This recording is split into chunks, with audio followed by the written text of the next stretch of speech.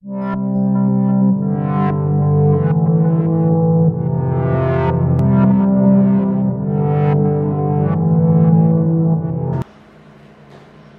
is April 13, 2020, in Coto de Caza in my solo room.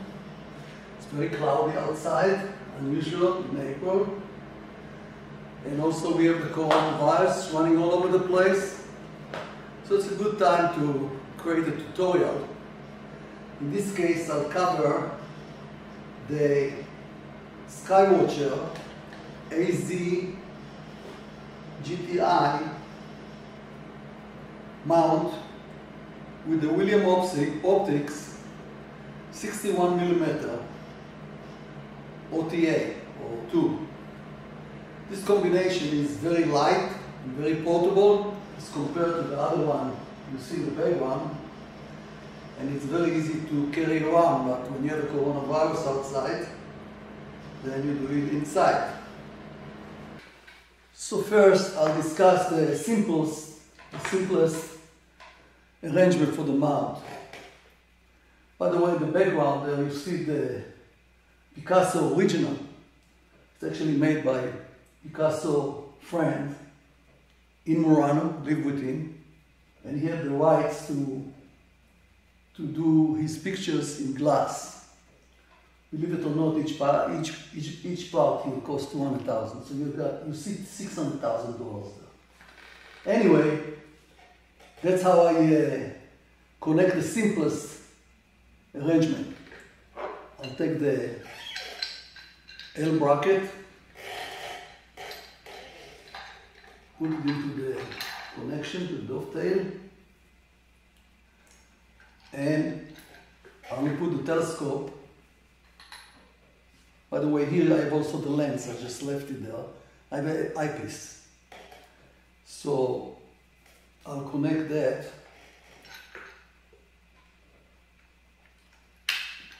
It's best to connect it to the to the screw which is farther from the lens, the eyepiece, because of the weight distribution.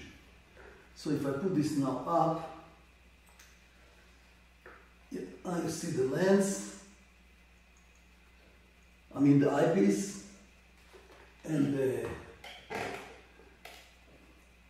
connection is that show you the simplest way to make the GTI working.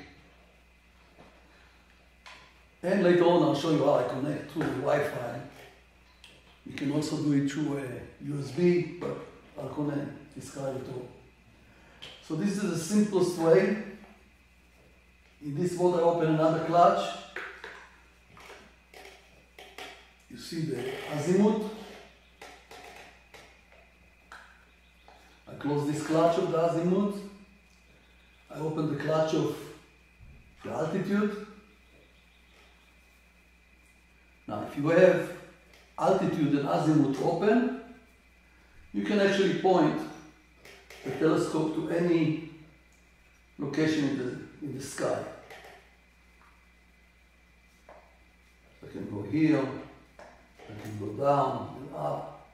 And that's basically the advantage of Alt-Az. It's a much simpler arrangement, but not as accurate as the equatorial.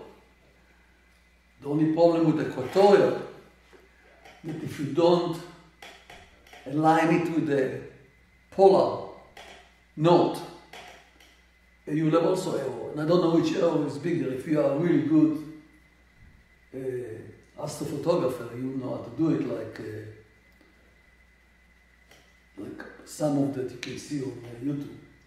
Trevor Jones, for example, will do it exactly accurate and can track for hours the the stars. I'll try to get to that someday. Uh, I'm 81 now, so we'll see how many years it will take. Today is uh, March 14, 2020. Still, we have the coronavirus around here. Hope they'll solve the problem.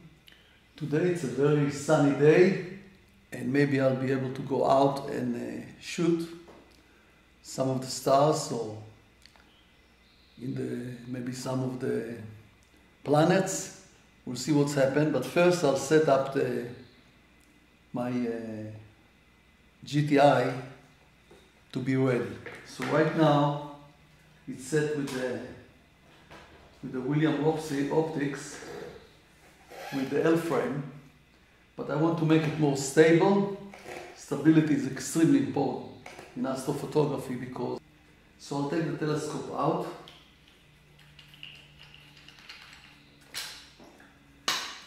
Put it secure on the table here.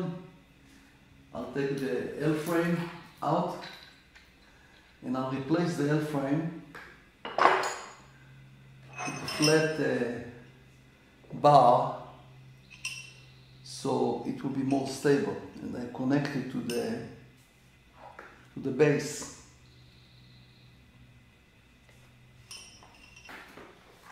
I will also connect two rings to the tube which allow me to have more peripherals connected to the telescope. So I'll tie them up. So now I have a flat plate. I have the mount. I have the William optic tube. I have an eyepiece here with the eyepiece angle. And the only thing now, I have to install the software to control the mount.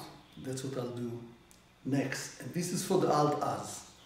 For the tutorial, we'll have a whole chapter.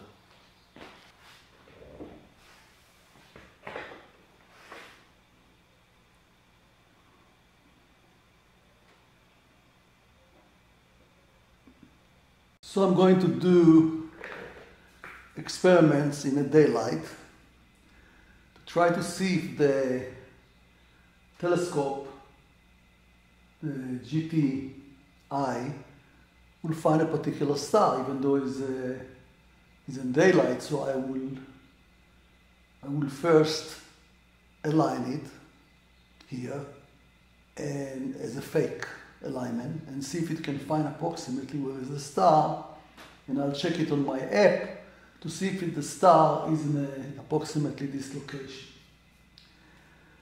So I will get to the application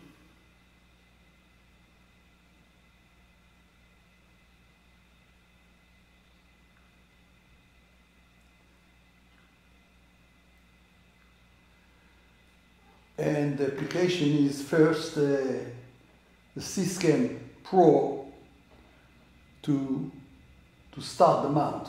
So I'll turn on this mount. As you see the light is flashing here. I'll have to set the OTA, the William Optics, to horizontal. Now check the horizontal with the leveler. Hmm, I it just perfect by coincidence. Make sure all the clutches are closed, the azimuth and the altitude. Point it to the node. And to find the node, I will use the, the compass here so I'll go to the compass, compass. So here I have the compass and we'll see where is the note. So you tell me that the note, you have to be very careful not to be close to the mount because you have the magnetic effect on the compass. So it shows the node is in this location, here which this is my house, that's the node. This is the south. So that's acceptable. Get out of that. go to the Wi-Fi. So I have to generate a Wi-Fi from the mount to my cell phone. So since I turned it on, it already flashing. That means the Wi-Fi is on there, but it's not here yet. I'll get to the Wi-Fi connection. Wi-Fi. Right now, it's connected to the Ariel 5G family, which is right in the other room. But I'll select the SynScan. So it's selecting the SynScan now. Got it? And now I can start the application, which is the SynScan Pro. I'll say connect.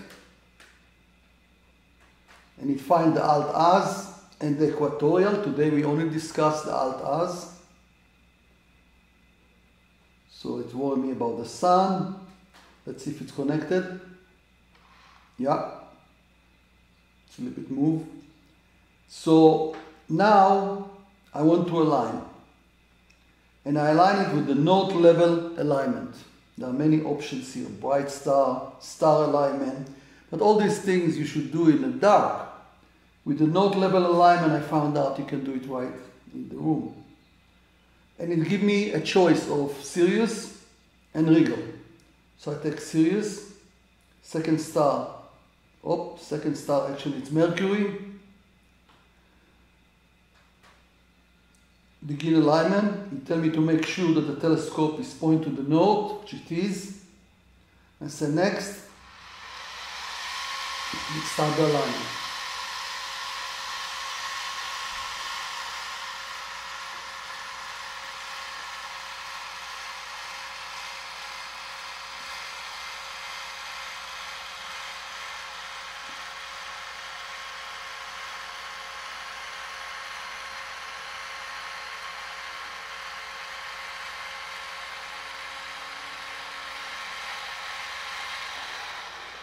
So it's assumed that Sirius is there, I cannot check it, but I'll believe it. And then it will go to Mercury.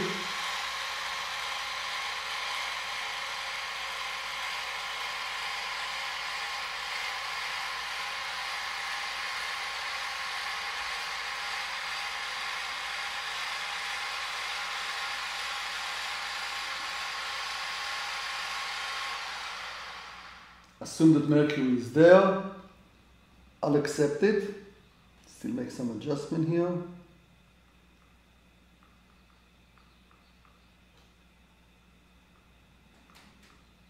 It telling me manually center it, so assume I mess it. And it's a alignment successful. So the mount think that it's successful. Now I'll go to some star and see if it's there. So I'll go back and we'll go to star Let's say I'll name a star. So in this case, let's go to Sirius, which is minus 1.6, which means it's very bright. Not now, of course. Well, it is bright, but we cannot see it. We'll go to Sirius, and I say go to.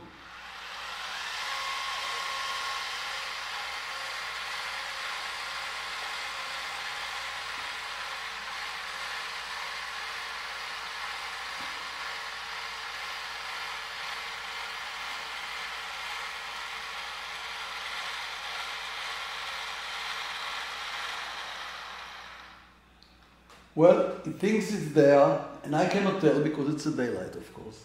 But I can go to an application that tell me where the stars are now. So I'll go out here and go to an application that call Skyview. And I'll search for Sirius. It will be stars stars. Now go to Sirius, to S. Uh, let's find it. Okay, to be here Sirius, I found Sirius. So let's say we're a Sirius.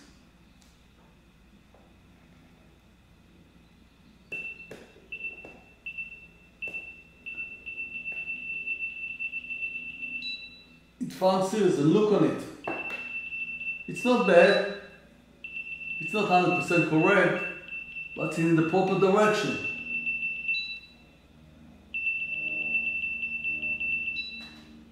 And it could be adjusted at night, of course.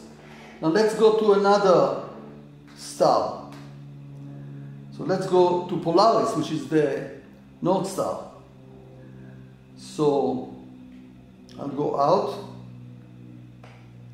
and I'll go to the application again.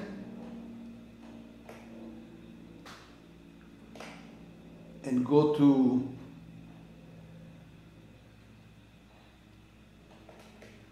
well, I have to manually adjust to it, but I didn't, it's okay. But then I'll go to another star and search for Polaris.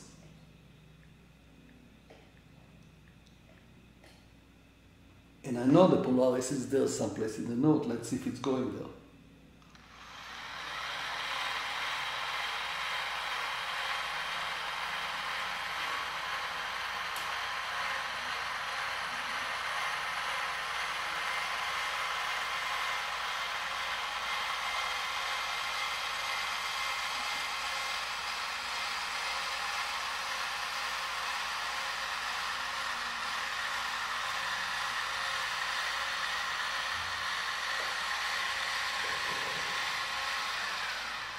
That's not bad at all.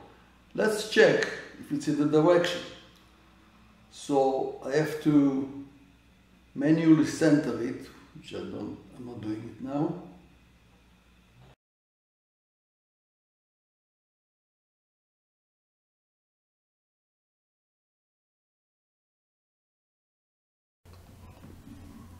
So we'll open the application and we'll see if it can point to the North Pole, which is the Polaris uh, star. And it will be only approximate, but on the application you see that uh, it find it pretty good. So now I'm up, out at night. It's uh, 8.30 and I uh, going to set a real session of taking the Venus.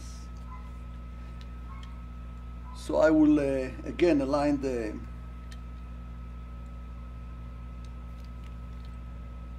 align the scope. So I'll start it. Select the proper Wi-Fi.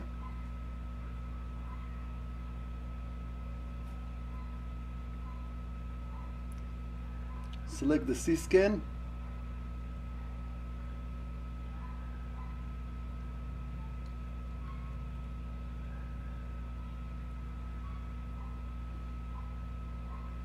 Okay, go to the application, which is uh,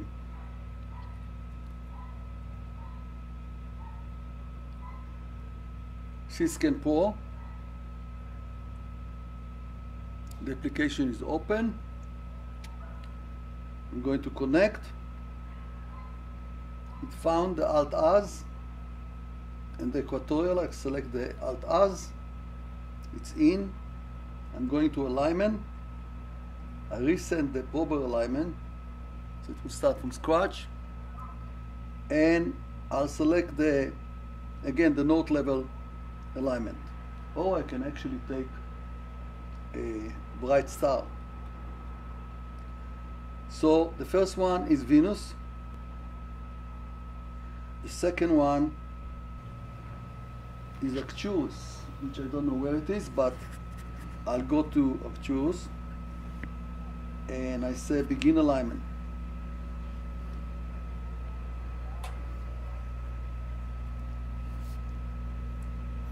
So I have to actually go to Venus and manual center it. So I will go out, I will not do that. I'll go to different alignment. I'll take note level alignment. And I select Venus again and Sirius second. And I say begin alignment. It's horizontal. Next.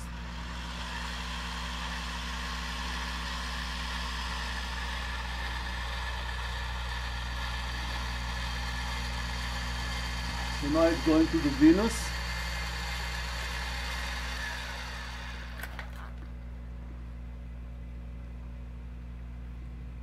And it tells me now manually to center it.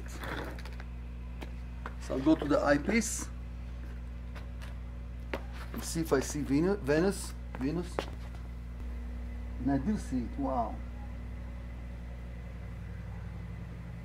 So I need to a little bit align it. So now I'll try to find Polaris. It's very, very foggy there. Let's see if it can find it.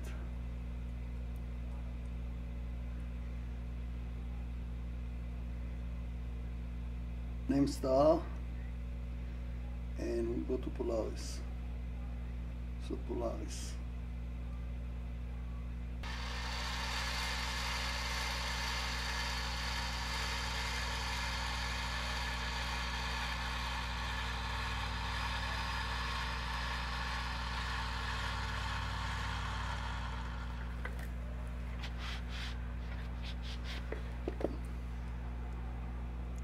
I see Polaris, but it's very, very dim.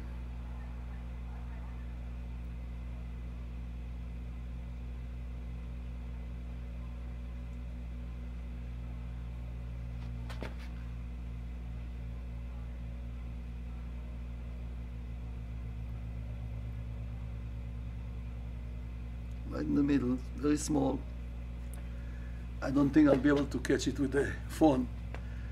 But the next session, we'll be using a stronger eyepiece and we'll see how it works.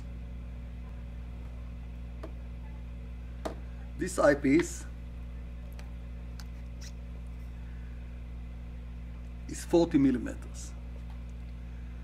And the focal length is 350, so 350 over 40 give me the power of the of the amplification but I'll go and get a much more powerful eyepiece. So I got now 10 millimeter eyepiece. So this would be amplification of 36, 360 divided by 360 divided by 10. So we'll see the size of Polaris now.